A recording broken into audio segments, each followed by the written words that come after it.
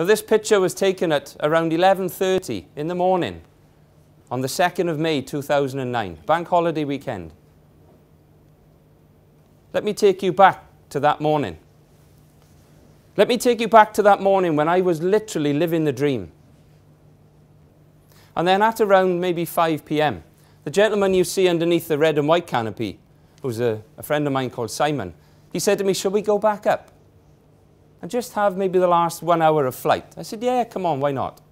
So we launched the canopies off the top ridge and we started flying. Unfortunately, I flew into what they know as a crosswind, and I can still look down now and see my flying boots coming up at me. I hit the grass at probably around 25 miles an hour, which was bad enough. And I'm looking up at the blue sky, and I'm thinking to myself, wow, that was pretty close. I'll just get up now and pull in my lines and my canopy and just go back to the landing site. And then I thought, why can't I feel my legs? So I looked down and tried to sit up. And it was almost like I was Velcroed to the floor because I couldn't get my shoulders off the floor. So I physically pushed as hard as I could and nothing moved. How grateful was I that this amazing charity with these trained paramedics were on the scene within minutes. Now, we all know about the golden hour. When you have a near fatal accident, you have to be in hospital probably within 45 minutes to 50 minutes to get the treatment that you actually need. And even to this day, I'm most grateful for this gentleman who worked on me. Gentleman called Ross Griffin.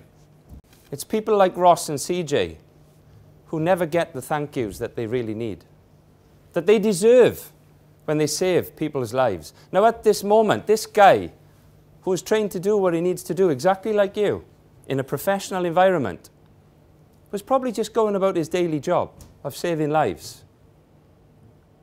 So I had my MRI scan and I had my x ray. And I remember the nurses walking in and saying to me, Mark, you're in good hands. And I kept thinking about the Aneurin Bevan and, and how much he's transformed this amazing world class service. To then see the doctor walk in and say to me, Mr. Colbourne, I've got some really bad news for you. I said, That's fine. Just, just tell me what I've done, you know, because in my mind I just wanted to know. He said, Unfortunately, you've broken your back. Now, when somebody gives you that kind of news, it doesn't really sink in. And then I was taken to an amazing rehabilitation hospital in Cardiff called Rookwood, which you may or may not know. It's almost like Stoke Mandeville for rehabilitation for, you know, for neuro, uh, neuro accidents and, and spinal. And I remember waking up the very first morning and thinking to myself, they say that life begins at 40.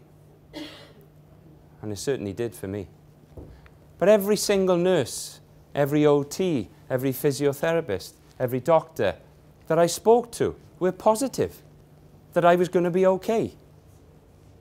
And after the first maybe four or five weeks, I kept thinking, I'm just going to put my life in their hands and I'm going to trust them.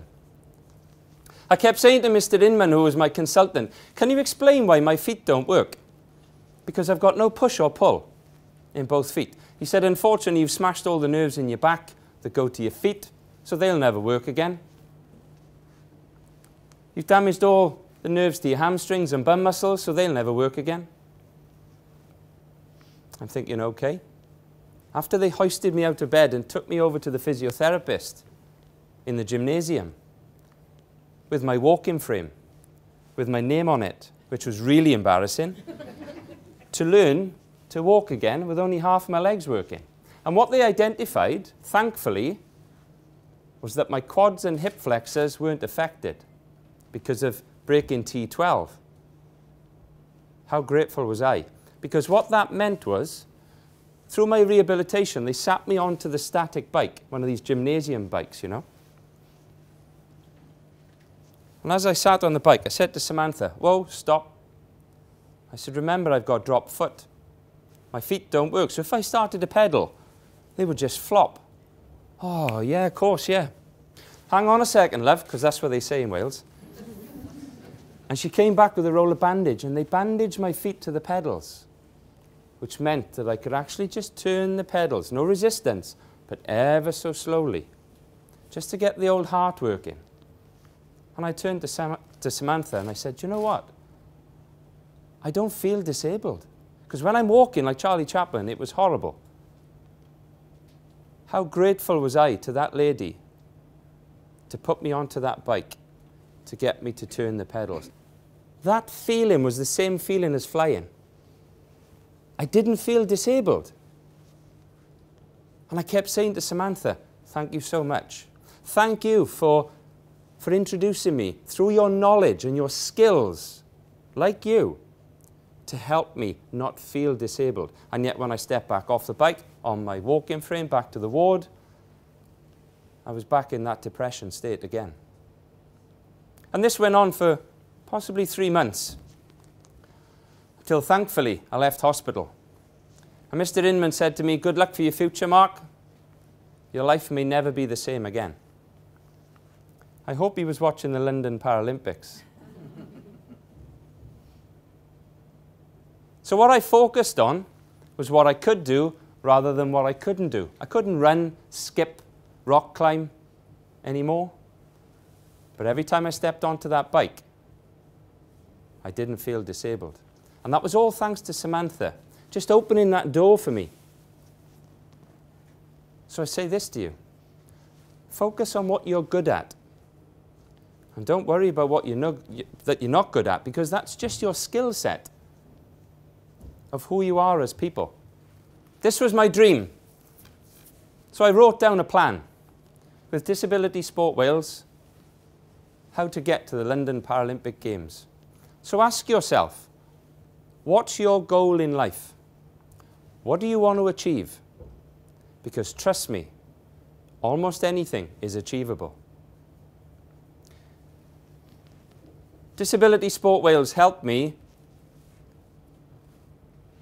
to get into the British cycling team. They worked as a team, the secretaries, the chief executives, the coaches, the helpers, the advisors.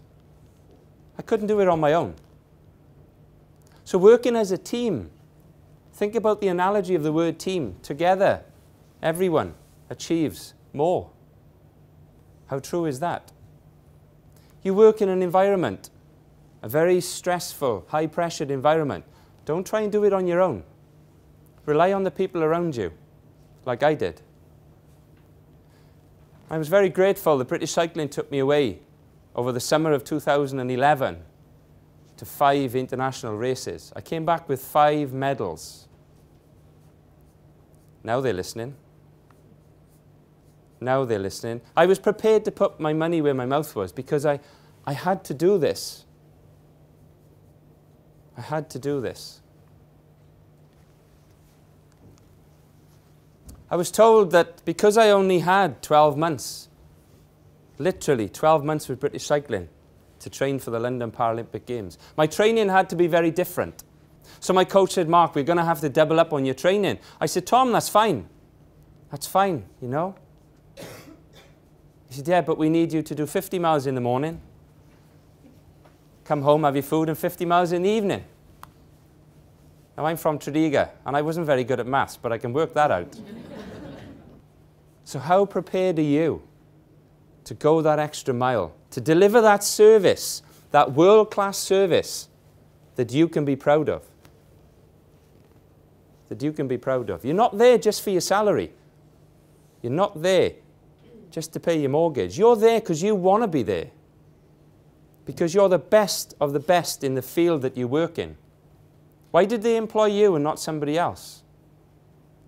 Because you are world class. Think about this. Always be the best you can be. But that doesn't necessarily mean that you'll always be the best. But always be proud of your achievements.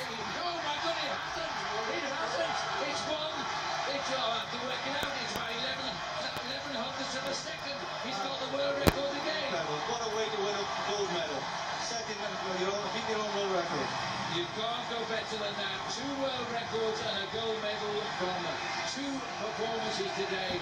Mark Colbourne has got his in the best possible style.